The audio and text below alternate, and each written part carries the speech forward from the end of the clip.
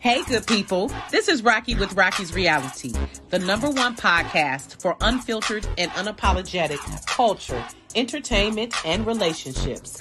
Tap in live Thursdays, 7 to 8 p.m. Eastern Standard Time, as I chat with some of the dopest artists, celebrities, influencers, entrepreneurs, and more. Make sure to catch us live Thursdays, 7 to 8 p.m. Eastern Standard Time on Facebook, YouTube, and Roku. See you soon.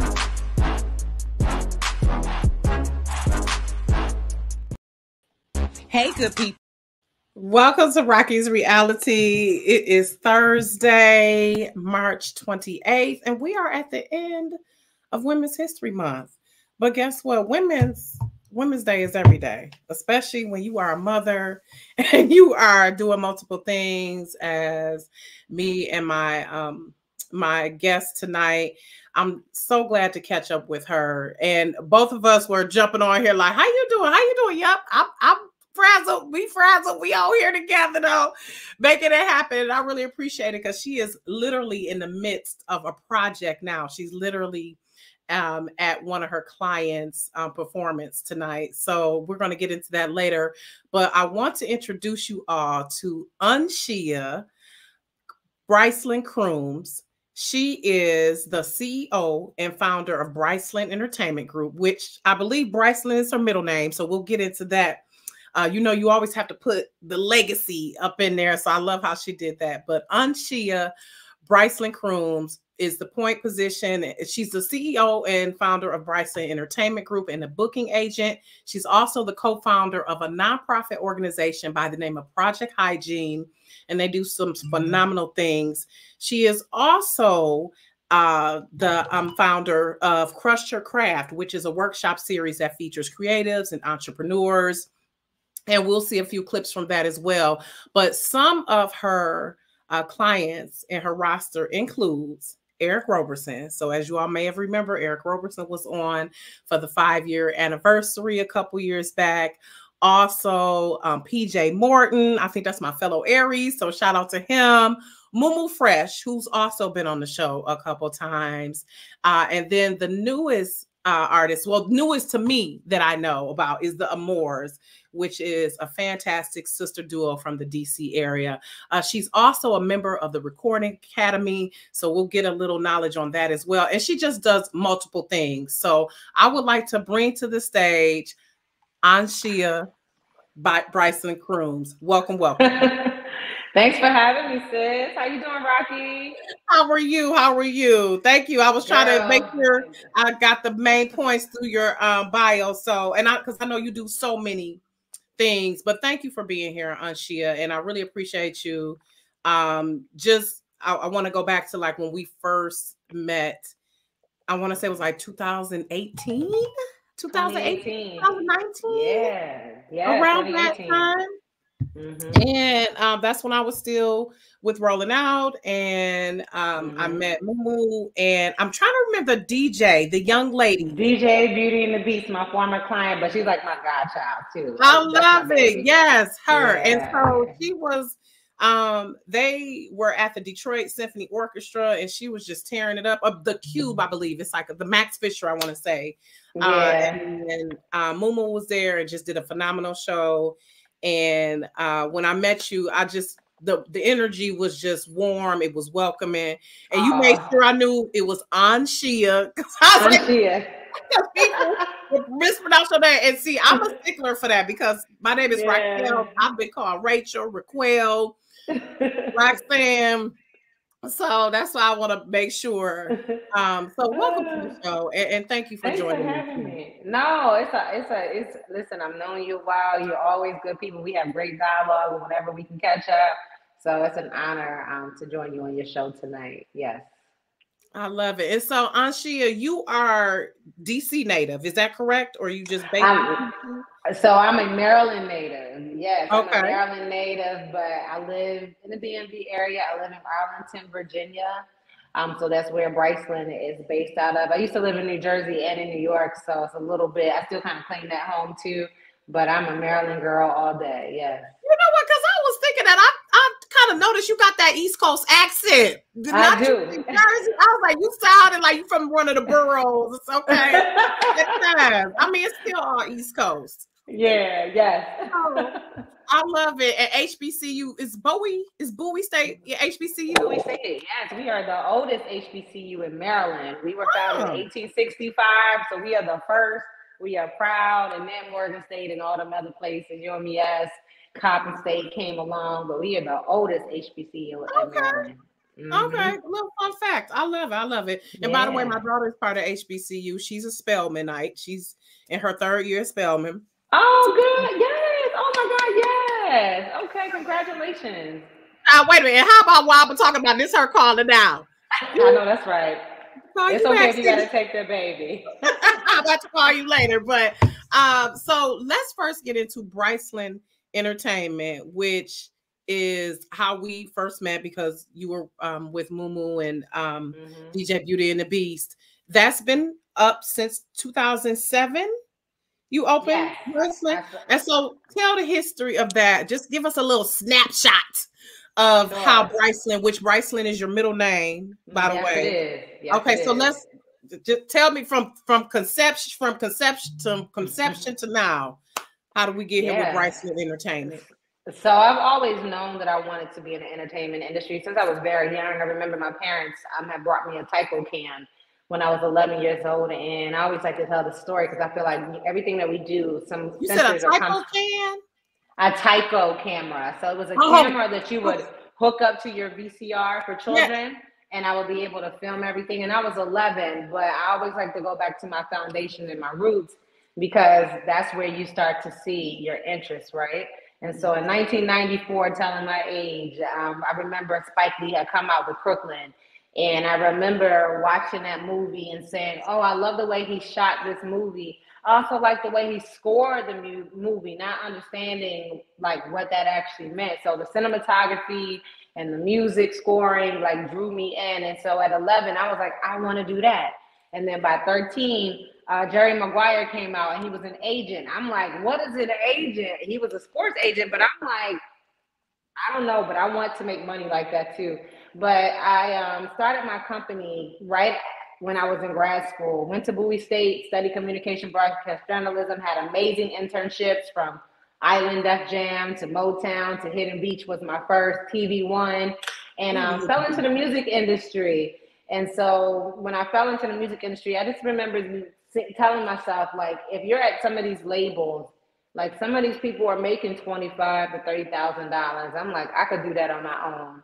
And I was in grad school at that time when I was at uh, Island Def Jam, and I just remember saying, I don't want to work for anybody. My mom always says, if you work for somebody, they probably fire you. That's right, because I'm kind of bossy which kind of I understand why I have a company and why I'm the leader of that. Um, but I, I, try to pipe down and dial back a little some now. But no, but that's yeah. okay. You a boss. That's exactly what yeah. me to you in your perseverance, and we'll definitely get into that.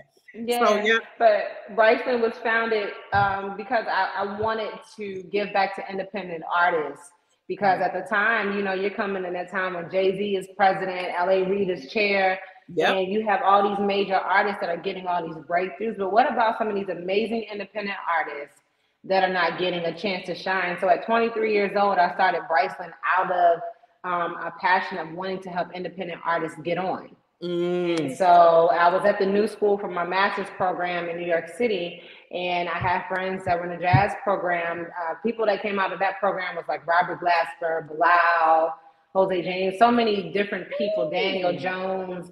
And these people are all like friends, you know. And at the time, I was just like, okay, I'm a young manager. I didn't even know what a manager did, but my friends were in the music program, and I was in grad school, and I was still really young. So it was like, okay, well, I guess I'll I'll manage some of the artists that go to school here, and I started to cold call music venues and try to get my artist shows, and that was really how I think I learned the passion behind booking um, but I was a mm. manager. So then I was like, well, I need a company because I'm also in my master's program, so I'm not done. So I need to file this LLC and and make sure all my business is straight. So Briclyn right. started out trying to help my friends get concerts, trying to get deals. Me being a young manager at a young age, and just wanted to thrive in the entertainment industry myself. You know. I love that. Oh my gosh, you and you know what? It's like even, your story is indicative of like even when we don't know exactly what we're doing, we just do it. It's just like mm-hmm. I'm yep. it out. I know there's some type of drive in me, um, and some type of that get you. You saw a need and you you saw a void, and you were like, "Let me fill this void." Yeah, yeah. I love that. And by the way, shout out to the uh, on uh, David Dwayne and Courtney Scott. Hey, and Courtney, and she's in the Courtney is our booking events manager at Briclyn. She's around the corner, so they're watching okay. from the side room. I love it. Thank you for watching. Yeah. So what's the difference between a booker and an agent? Because I was looking on your website and I was like, well, what's the difference? I kind of saw the nuances, mm-hmm. but just go through like give a snapshot of what the services that Briclyn offers and it, those distinctions.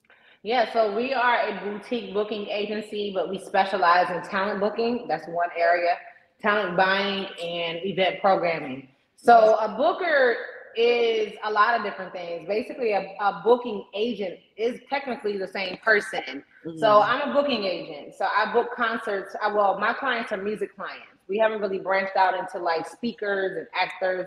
So I'm technically a music agent. Mm-hmm. But because we're a boutique agency, we offer other services. So um, a booker could be somebody that works at a, a, um, a, music venue that books shows, that books concerts, that books artists for their shows.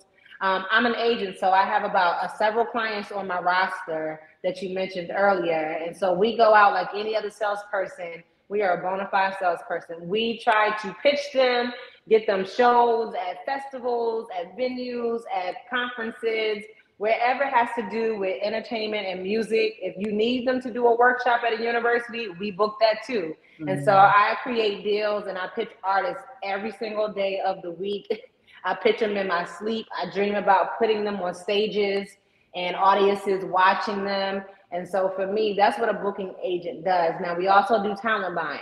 Mm-hmm. Talent buying is when municipalities or conferences or promoters call my company and say, we want to book this artist for our concert or for our workshop or for whatever the case may be. So they may hire me as their talent buyer. Like for for example, um, TBL Live is one of our clients out of Colombia, Bogota, in South America. BSU headquarters, and um, they wanted Kool & the Gang in the Village people. So they hired my company to tell and buy on their behalf. And so what we were able to do was go to their agents and their managers and say, hey, we have this budget. Are they available? Would they like to build in South America? Um, can you let us know if they're available? So what we did was basically broker the deal for them as their buyer, and then we we're sending them to uh, Colombia on May 15th in South America. So that was my first time bringing a client that wasn't my client. Um, the the legendary Kool & the Gang and the phenomenal Village people of all people to Colombia, and then event programming. We produce events. So um, I don't know if you were able to show, but we produce. Um, we just recently in the last year produced NAMAM, an Asian festival here in Washington, D.C. that celebrated their centennial. Yeah.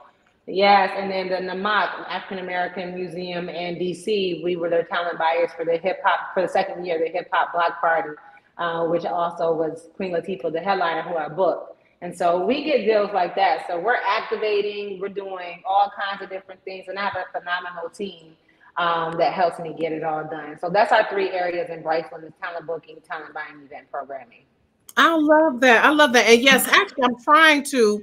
If y'all just give me a moment, I'm trying to bring up that um, clip that was showing you at the NAMAM. Um, and while I'm bringing that up, what are some key things that you've learned during this journey Anshia? Because this is a we know the business is finicky.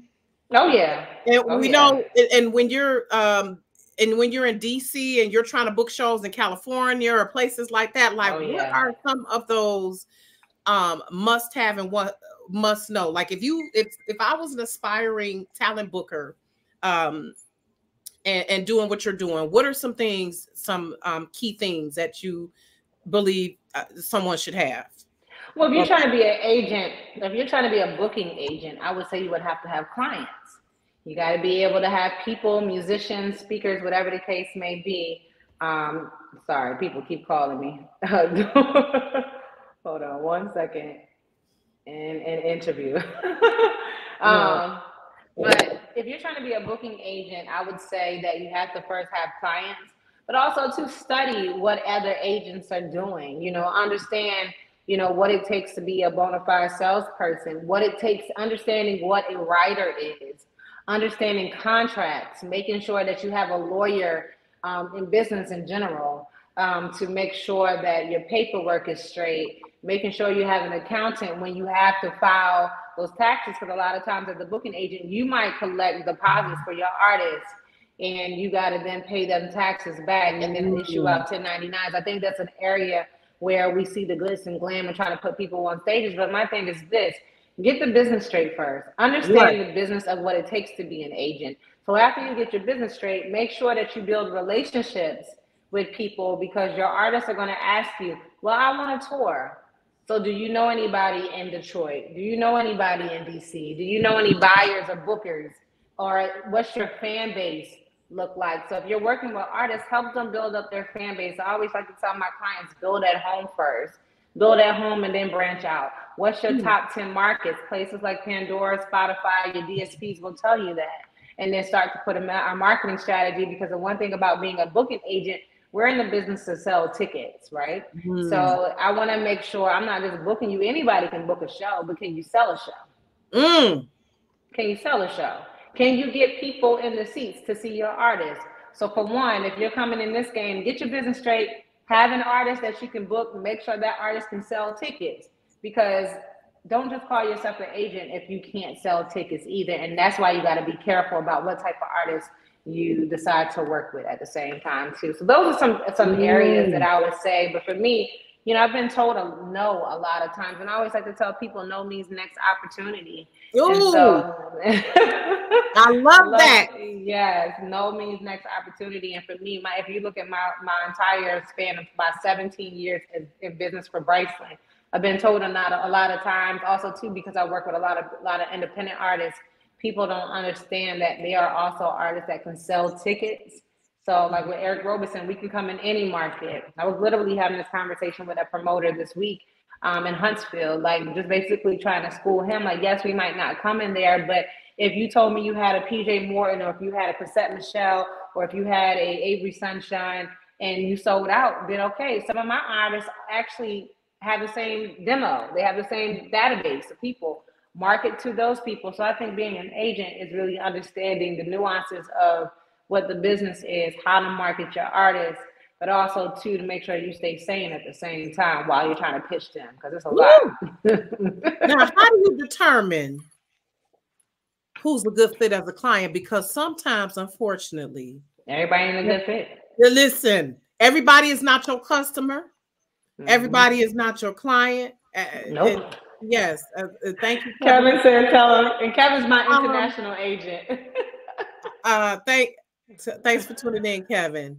Um, I was in an entrepreneur class because you know you're always taking stuff to home. You know, even even some of the you know sometimes I take workshops and I might know the information already, but it's always good to get a refresher. And that was some of the struggles that a lot of people have understanding who is your client understanding that all money is not good money and sometimes folks gonna worry you to death and it ain't worth it so how do you determine who will be a client because you have a wide range you have eric roberson who's a singer mumu fresh is a singer and a, and a mc you uh, um, of course the moors are singers but Adam Blackstone, he's mm-hmm. he's he's is he a singer? He's more so on he's a, a music, instrument, instrumentalist, instrumentalist, right. yeah. So it's running the gamut of artists. And then you had uh, DJ Beauty and the Beast. So you've had a gamut, yeah. a range yeah. Of um, artists along the spectrum of entertainment. So how do you determine who's a good fit as a client? Well, and how do you fire a client? yeah, recently. I, how do you determine? Fire, I won't say fire, but we have walked away, right? Either from okay. each other or I have walked away from them and their shenanigans. Um, for me, it's about discernment. It's about discernment. Um, it's about you know, is it? It's because my business is not just about me. It's about my team too. And before I had, and I had to grow in that thing because I would take on clients after clients. We've had a lot of different clients on Briclyn. Um, mm-hmm. but everybody can't stay and everybody's not meant to be. But also for me, I discern on who really needs to stay. And also, too, my clients are all performers. Like they all can perform live. They're not studio singers. Mm-hmm. And so for me, when we're looking at type of clients that we want to work with, is the show good? Or can it grow to be good? You know what I mean? Because everybody's not going to start off being a Mumu or being an Eric or PJ or whoever.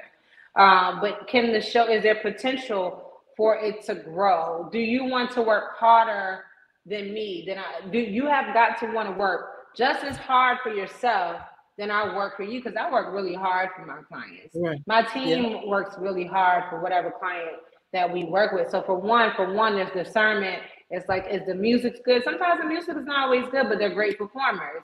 They will potentially mm. grow as they work with more producers. That's their thing that we might not understand all song selections, but the shows are phenomenal. And I think that everybody that we have in our roster can hold their own, whether mm-hmm. you're a, sing- a, singer, a rapper, or instrumentalist. All of the shows are good. There's not one artist on our roster that you will not go to their show and say that wasn't good. I think you will say they were phenomenal, yeah. and I want to come back. And I just learned that this independent artist is extremely dope, and I wish I had known right. about them earlier. And that's right. the people we want to work with. We want to also work with good people and family-oriented people. We want to work with people that understand families and relationships and want to build. You know. I love that, and I love how you um um I, I, I, you said some key things there, like that's the same thing I thought about Mumu when I discovered her. I was like, oh my God, I wish I had known about her sooner. And this is my thing. I have a friend who loves, who is, she is Eric Roberson's number one fan, I swear. That's my last shout out to Ebony. I told her I'd give her a shout out. She's like, you gotta tell her that I am his number one fan. Um, and it just why is it? I want to ask, why do you think underrated artists are not mainstream artists. Like someone like Eric should be mainstream. Like and, and all of them should. And that's what like a Mumu as well. All of them, you're like mm-hmm. they're just as great, if not greater, than some of these mainstream artists. I'm gonna call it like it is. Like you said, yeah. they are the type of artists when you come to the show, I want more. I yeah. want to see them again. Yeah. I'm following now. Like I told you, I'm obsessed with the Amoras now. Now that I was like, I thought about your story, I was like, oh, now I'm. So why is it? Do you think? What's that gap with you being in the industry? And what do you think that gap is at times? Why some artists are not as appreciated as they should be? Well, to me, my clients are mainstream to me, whether you think it or not. Not mm. you per se, but the industry. And so I think the industry also is changing. I think that everybody wants to now call themselves independent. We've been I've been doing independent so long that it's like it's a joke to hear somebody else that's on a mainstream label say they're independent. Because I also remember when I worked for a, a big celebrity, and I remember this um this ED that I was working for, which is the craziest thing. She is now speaking independent everything, but back then she was like, "Why you work for independent artists?" Because it's like you know they get the freedom. They don't have to sell their soul to the label. They don't have to sell their soul to the DSPs. Absolutely. They can kind of control their narrative. For, so yeah. for me, I find I believe in ownership. I believe in legacy building, and I think the artists that I work with understand that same narrative, like mm-hmm. how to go out and get it in the mud. So for my thing is this, like I think main uh, people are not um, are not familiar with these artists because, like you said, they're maybe considered that what you want to call a B or a C list artist, but that's not true. They're just new to you. But then too, the, the, the people want to sell sex. They want to sell drugs. They want to sell all the stuff that's happening in the media. And you see what's happening with the mainstream right now. I'm mm. kind of thankful that we stayed in the independent realm. Like not saying the independent people don't have their problems, but at the same time, you, I'm not even calling any names, but I don't we don't want that attention. But right. in 2024, you now know how to go to the D- DSPs yourself. You know how you know how to get your own marketing and publicists um, to yep. work on your behalf. You know how to do all of those things. So it's like you might not be mainstream to them, but they are mainstream to me because with Eric, we can tour year round and book the shows on our own. I don't have to wait for a promoter to come and give me anything. I'm going to go out and knock down that door. Like I told you, Noah's next opportunity. So, with that being said, I'm going to go ahead and, and pull up to this venue, build this relationship with this buyer or with this owner at this venue, and say, you know, I have the numbers that prove that this artist that you said is not mainstream is really mainstream because look at how many tickets we sell. Exactly. Look how many how we have the marketing people on our team and the production people to go ahead and do what we have to do. And I just think it's more so it's marketing dollars. That's the only reason that is the difference between mainstream and independent artists is people wanting to advertise the things that some of us don't believe in, which is selling sex or alcohol or Ooh, tobacco or things baby. like that. Okay. Family, where the bell at? Ring the bell, baby. listen, because that's listen, and people be hating me for saying it, but I'm like, um, really, that person is, and that's the thing we grapple with, and what I grapple with at times. That I know there are artists who are way more talented than some of the social media sensations out here. Girl, so, um, girl. and that's what I love how you maintain that integrity.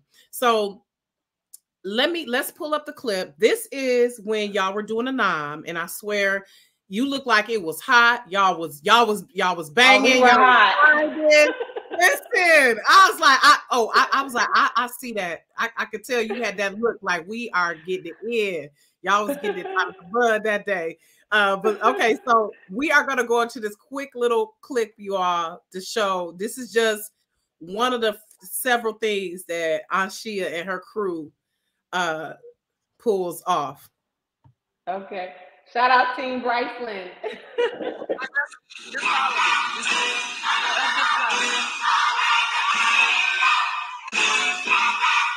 I want to talk to you.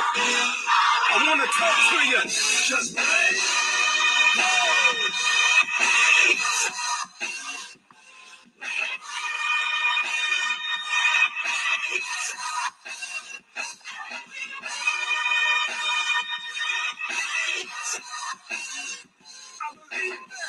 you by my side. Together we can touch the We will be better than ever. Made a promise we can do it together. And I ain't breaking my word. I just wish that I could fly like a bird. Get away from this earth. Had a prayer and prayer. Felt a curse. Always tell myself it could have been worse. Never going back, I broke the reverse. It come from my soul, no need to rehearse. A lot of time I was in need of work. Talk to God like I needed the. Shot the line like I needed it first. But I was being selfish. You know this don't affect a lot being careless. Took a break and stepped away. I'm coming back when I get. I know this breaks people into pieces, but I ain't gonna let it. Yo, Blaze, you crazy for this one. Hey, all the champions out there feel so good. Hey, I said it feels so good. We will, we will, we will, we will, we will, we will, we will, we will. I love it. Yes. oh, that was 2023. That was last year. Mm-hmm. We had that contract for two years, 2022 and 2023. But that clip was 20. It was last summer. Uh-huh. And that's phenomenal for that to be at the the National African American Museum. Like oh, that's yeah. a big was, deal. Was, oh yeah, 16,000 people were out there. The way we had the stage centered you could see the monument right in front of you. So it was a sight to see. It was beautiful. It was a beautiful day. And 16,000 people that a lot of them look like us were in the crowd just enjoying themselves. Peaceful day too. A beautiful, peaceful I love day. it. So yeah. what how so between the talent booking and the event promotion, let's talk about that. How do you which one do you like the most? Let me start there. Oh, I love I, I love them both. I do, but I think I do more of the booking because that's what I started with, you know. Okay. And so for me, it's like I enjoy talent booking. I'm a talent buying. I do the deal, and the artists are not my artists, so I just mm. get a deal mm. done, and then it, and then the promoter takes over to advance the show. So then I'm done. After I do the the negotiations and the contracts and get the show on sale, I really have nothing else to do with that show. So mm. that's the mm. reason why I do love talent booking so much because these are my clients. I get to walk with them and grow with them and do their deals, show up at their shows if I want. I don't necessarily have to be there. But I love the talent booking part of it because I think we get to strategize with our clients more and help them build. Like I'm on calls every single week talking about what tours we're going to do, mm-hmm. how we're going to market it. So for I like being hands on with my clients and letting them know that I'm here to support. I love talent buying too because you can make a lot of money, but it's like once the deal is done, I don't have to see those artists. So I, I love I love both, but I love to be an agent because I like the interaction with my clients. Yeah. Right, right. And so with the event production.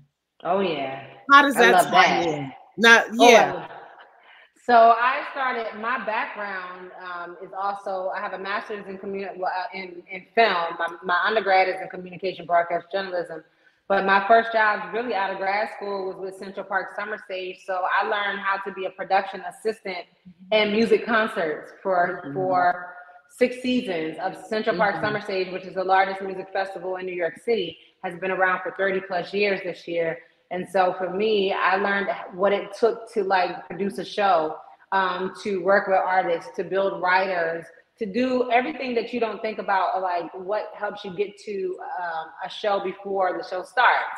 So there's a lot of layers right. to getting to getting that artist on the stage. There's a negotiate, negotiate. There's the pitch. There's a negotiations. There's the acceptance. There's the deposits. There's the marketing. There's the technical advance. There's all these different things mm-hmm. that have to happen before we put an artist on the stage. And I love all of it because mm-hmm. when I was a 22 year old girl working in New York City, I was outside in the, in the, in the five boroughs of New York City putting on concerts, mm. advancing concerts. And so for me, that was really like my school of production. And so I always wanted to infuse that in Briclyn because I also wanted a film company. So I think the production side of me has been in me from the very beginning. From that little girl that was 11 years old for watching Spike Lee's movie. So that hustle of production, the fast life of it, um, is the entity that I wanted to make sure that we had that production piece um, of Briclyn right, live show and producing. Like, because I'm a producer. Um, I act like a producer. I walk like a producer. I, I build uh, itineraries like a producer. And so I just wanted to make sure that in my company, the three pillars had to always go back to talent, but also producing events at the same time. And so that's why we merge in uh, events because when you think about putting on a concert, it's an event. And right. a lot of times we are building out the itineraries and advancing the show. So why not have an event part of my company? I love that. I love those different aspects so much, so much. And I know we got. I, I, I've got so much more I want to ask you, but I know we gotta. Oh um, yeah. And I love that you are. So currently, um, wait, I meant to ask. So Briclyn is your middle name, right? Quick, it's talk the story about how you d- decided to name yeah. the company Briclyn. Yeah, so Briclyn is my is my middle name. Um, my father's middle name is Bryce. I'm very close with my parents, and I wanted to make sure that I honor them. Legacy to me, even now more so now I'm a mother, um, is very important to me. But I had already been doing this when I decided to name my company Briclyn. I, as a little girl, I didn't like my name. My name is Anshia Briclyn at the time, tall. Um, but people will call me Anisha Brickland. So that's the reason why I didn't like my middle name. Because I'm like, if you see Briclyn the way it's written, it was supposed to be an accent mark. I don't know what happened to that. But it was the 80s, so you know who's changing it. So I'm named after really my father, Anthony Bryce, and I'm Anshia Briclyn. I'm, I have a twin sister, but I'm the first born by two minutes. but I wanted to make sure that I honored my honored my parents. And as I grew older, I learned how to respect myself and I learned how to respect my name. And I think your name is everything that you have to hold on to. And so I wanted to make sure that when I leave this earth, that's something that's honoring my parents because I love them so much. And I, I, do a lot of the things that I do because of how they raised me. Mm. Um, but I also wanted to make them proud. I wanted to make myself proud. And what makes you more proud than standing on your own name?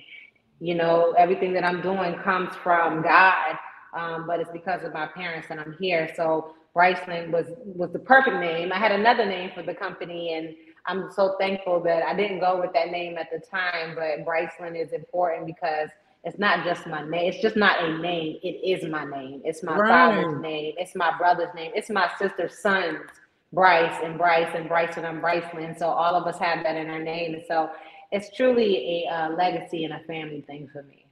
I love that. I love it. Keeping it all, in, and that's yes, legacy building, and we do yes. do that.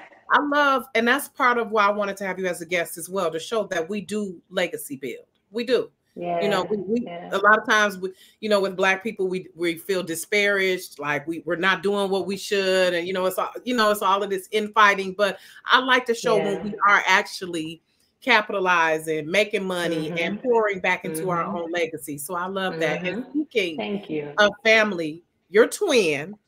Yeah. Uh, you can actually say twin. Where have you been? You have can you actually, yeah. you can actually say that. whole video on that. right, you can actually say that. So let's segue into talking about Project Hygiene because your sister, oh, that's yeah. dear to my heart. I'm a social worker by trade.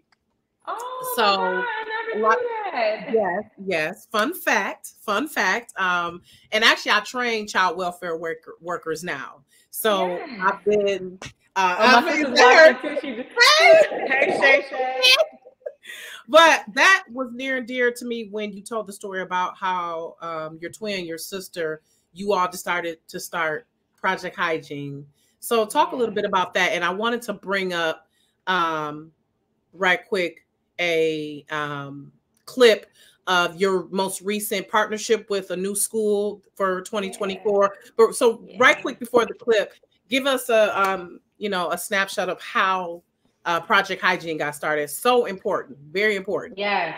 I might get her job description wrong, but I think she's a Shay. If I'm wrong, put it in the chat box.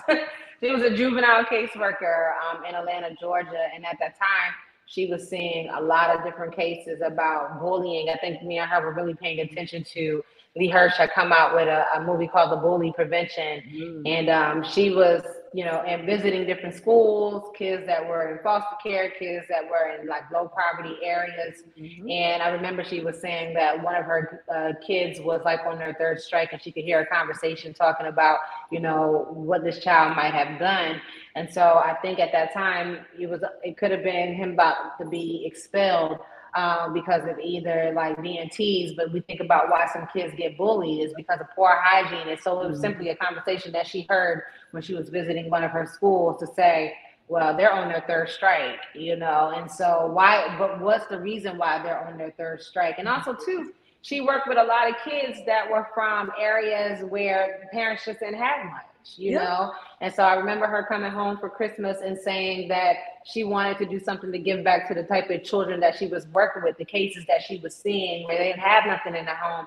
And so I said, you know, I was listening to her. She said she wanted to give back some toiletries. My parents are really big on giving us toiletries and our stocking mm-hmm. stuffers for Christmas. Mm-hmm. Huge on that. Mm-hmm. And, and, even in college, we would come home and be like, "Where's where's my toothpaste? Where's my this and that?"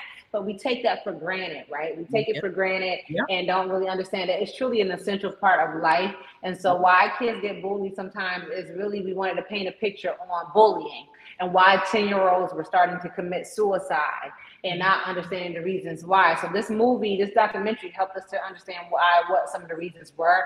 But we wanted to focus on health and wellness because if you learn how to feel good about yourself on the inside, then we want to teach kids how to feel good about themselves on the inside and on the outside.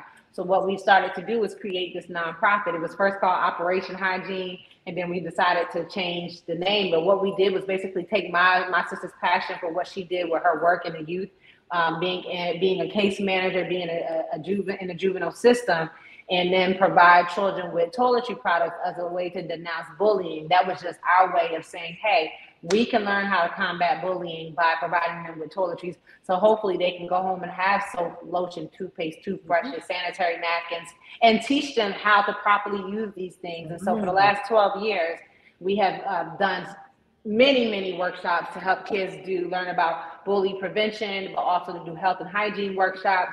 We are now in 10 schools where we have hygiene closets inside of these schools. Mm-hmm. So like kids have access to free toiletries because we also know that's a necessity. When we're working with different um, principals and social workers at the schools or community leaders at the schools, we and the nurses, we get called all the time for sanitary napkins. Most requested yep. item is deodorant you know, mm-hmm. because a lot of these kids at a lot of these schools are Title One schools. Their parents don't have. If you're too busy trying to make sure that your kids have have food, we know like right. product like kids that have eczema who will get sometimes teased can't afford 16 to 20 dollar bottles of eczema to take care of them properly so right those creams right yeah you, know, you can't afford wanna, the pres- prescriptions yeah. yes yes so absolutely. we want to do our part just to make sure that we provide for students free is free product um, we're just building with a lot of different schools at this time, the build, building with a lot of um, community leaders where we live at in the state of New Jersey. Uh, but we're in 10 schools, and our goal is to have hygiene closets in a lot of schools throughout the country. Um, but we also send product internationally, and we've been around for 10 for 10 for 12 years, um, doing the work, speaking to students, doing toiletry box workshops. We and for Women's History Month, we have our Women Giving Get Women Giving Women Receive um, campaign where we highlight 22 women-led and sh- uh, organizations and shelters with youth. And so, even though we give back to youth, this is our way to spotlight women organizations and make sure that we as women take care of our sisters as well.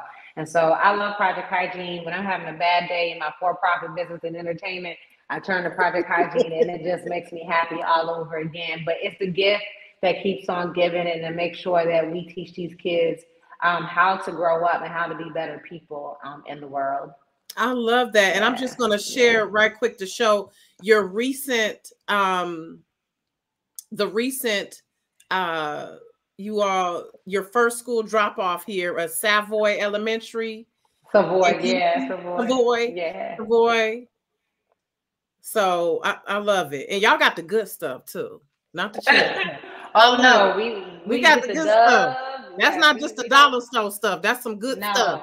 We have good product. Yes, we do. I love that. I love that. And you know what? The because the social worker in me, um, definitely. I was just showing. This is by the way, everyone. This is um Project Hygiene's IG. So make sure you follow them.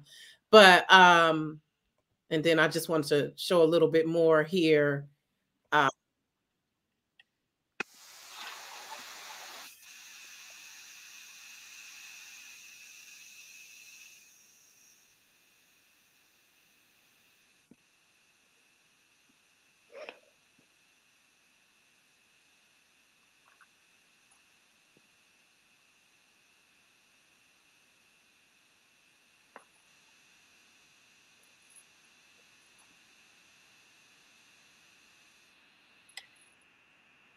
I love it. So is that like a closet where the kids can go to? To I so love that's what. Yeah, so that's what we said. We have we're we're in ten schools. We have hygiene closets, and if you go on our website, is it just in the DC go, DMV area? No, we're growing. So we're in the DMV, yes, but we have one school in New Jersey, the Whitney Houston Academy. We have a footprint there too. So we're branching out. We just live here, but we we're branching out, and so our, our goal is to be all over the country in the next five years but it takes a lot. So I would say if you guys see us and you talk, see us talking about Project Hygiene, please donate to projecthygiene.org because every single dollar that we get in goes right back out to these kids and their family or goes into our schools. And so I just we just need the support. Um, but yes, we have these these these are closets or whatever the schools gives us, whether it's a classroom or a locker or a closet, we we provide products for that particular space. I love it because I and I would definitely. Um, that's what I was telling you. If you ever want to set something up, uh, maybe a, a branch here in Detroit, on Shia, yes. let's let's discuss it because definitely really talk about it. Worker, yes. I do know some people in the Department of Health and Human Services here. Yeah. Um, definitely Please. something. Um, and I think I believe one year I like asked for people to donate for my birthday because I'm like I, I definitely can identify with a lot of the families that we yeah. service. They don't have just the basic things. They're thinking about they might be grieving from a death in the family, family or losing yeah. a job or they're about to get evicted. So it's hard yeah. to think about oh clothes need to be washed or um he he's outgrowing. We know our kids outgrow things. Yeah. Um, our kids can be rough on things. So definitely and just as a young lady, hygiene wise, too, young men. Oh, we do. And yes. we know how we kids can be. You know yeah, how kids mean. If you smell, they're gonna tell you. And they kids don't understand, you. and that's why I have to explain to my kids at times, and I've had to explain to my son. They might not be as fortunate as you to be able to come home, take a shower, and wash your clothes, and wash two, three loads if you need to. So, um, and just again those basic hygiene products too. So I really, um, yep, I think I did that last year, and I'm a, and I'm gonna do it again next year. But I, I, I really want to eventually if we could do something here in Detroit because that's something definitely. Please, no, let's definitely do it. So I'm sure someone I could connect you with here. So okay. and I know I know you got to hop off because you are at. We the didn't. Amours. Yes, the Amours, the Amours. Uh, right quick, let me give a little snapshot. Okay. Uh, baby, when I saw them on your story, I said, "Who is these chickies?" So oh, right baby. quick, y'all uh, yeah, brace yourselves because these ladies are phenomenal. right quick, get a little snippet of them.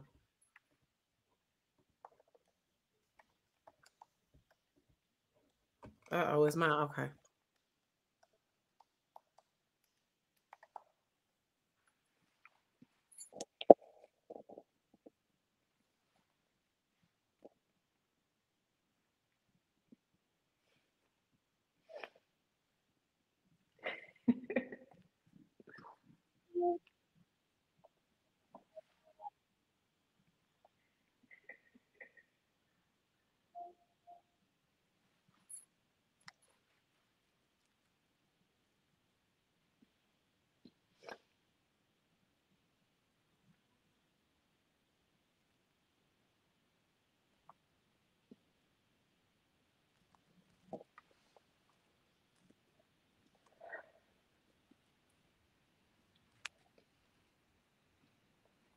Baby, listen.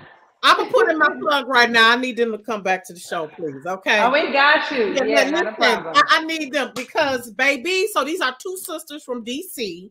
Yes. Yes. And they're yes. performing at the Kennedy Center tonight. So tonight, yeah. Yeah. They are. They are. So congrats on that. Um, hats off to them. What's their names? Jakia and Shayna. Oh my God. Moores and Jakia and Shayna. Yeah. yeah. I, and I've known them for years. I remember um it's, it's so funny. They had toured with PJ Morton and I was there the night. I was pushing them like he knows who you guys. They had did one of the gumbo covers and it went viral. And he did his album release concert in DC and they were afraid to walk up to him. And I said, girl, we're gonna go up there and tell them they shot they shot that night and they went on tour with him and the rest was the rest, but they dropped their new album April 26th and it's so good. So I can't wait for you all to hear it. Yes. Yeah. Yes. I'm gonna yeah. talk to you, Shia. I we might have to definitely Please, I love, yes. I love Please. them. They um those voices and I, I hope they get here to Detroit Oh, that's we're working on it. Um, the tour kicks off in June, so we are we're definitely gonna be riding. Woo, woo, woo, woo, woo. Yes, because like you, I'm someone I am a connoisseur when it comes to just like actual talent and artistry and that's what they have i love that so um i'm gonna let you go because i know you gotta get ready for the show um yeah because I wanted to play that clip of them when they did the mashup of Lauryn Hill's uh Ex-Factor. Yeah. Oh yeah. Oh, yeah. Like, so they are they are just so talented. Um, but let let people know where they can find you. We were able to get to um oh the day before your birthday. It's coming out the day before uh David's birthday. Okay. What's that? Oh yeah. Oh, and Your album is June you were saying April 26th. The tour happens in June, but April 26th the um, album drops. It's called okay. Changes. Okay, mm-hmm. and where mm-hmm. people can people find you? Because we didn't get into sure. crush the craft, but you, if you all follow Anshia, you can definitely find out about it. So, where can people find you? Uh, BriclynENT.com, which is spelled B R I C L Y N E N T.com. On Instagram, it's BriclynENT. And my personal page is Miss uh, underscore SHI underscore SHI, and it's Miss with MS underscore SHI, Miss Shishi. So that's how you can find me. But if you go to my website, Briclyn Entertainment, you will find everything there, everything about all of the clients that we work with, the services that we provide. And yes, please check out Crush Your Craft, but also to donate to Project Hygiene and donate to the Briclyn Entertainment Endowment Fund at Bowie State University, where we support uh, communication majors, uh, fine and performing arts majors, and business administration majors. I wanted to support those three majors because, of course, I studied communications. I work in the arts because of fine and performing arts, and also too, I want everybody to get up on their business and learn behind the scenes of what it takes to really run a business and work with artists. So right. that's what we support at Bowie State. So we do have a whole endowment that we fund as well. Uh, that's a key thing because we can always start a business. It's good you can cook, you can make dinners, you know, but it's different when you're trying to become the restaurant. Okay, anybody can okay? But uh, yeah, no, seriously, no, seriously, seriously. So and that and that and that's real. So happy Women's History Month to you. Uh, this is not this is not goodbye. This is to see you later. Um, yeah. Give Zachariah a kiss. Uh, you are an awesome mom. I love how you balance that Your birth story was phenomenal. I know that was not easy, baby, but um, yeah, blessings to little Zachariah. I'm sure he's keeping you busy. And I mean, like, just continue to do what you're doing, uh, Shia. Yeah. You are definitely an inspiration. So thank you so much for joining me. And y'all make sure that um make sure that you all follow uh, Shia and Briclyn um, Entertainment. And we will see you soon. Take care. Yes, and Rocki, thank you so much. And I appreciate you. Keep going and keep growing. Okay. You're welcome. Thank you. Thank you. Ladies like you, I'm glad I have for reference to keep me going. Some of them days, you know how it is. It's I do. Be, you know we be worn out. We be worn out, but we make sure and we make it happen. Oh, uh, one last thing. Please repeat, please the please repeat the last place to donate. Project Hygiene, I believe. Um, yes, Project Hygiene, and then Briclyn. Um, if you go to Briclyn for the endowment, um, it's a, a, tab on there to donate to our endowment, and then projecthygiene.org is our uh, nonprofit. And all of that is on briclynentertainment.com. Yes. All that is on there. Okay. All right. Thank you. And thank you everyone for tuning in to Rocki's Reality. We will see you next week. Thank you again, Ashia, for joining me. Have oh, a good thanks night. for having me. You too. Bye. Bye-bye.